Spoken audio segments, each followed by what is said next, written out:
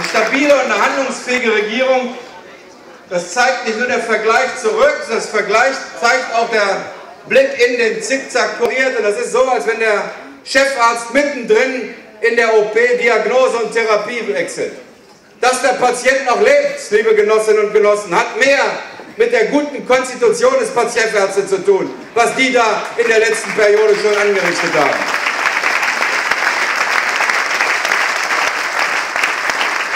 And that's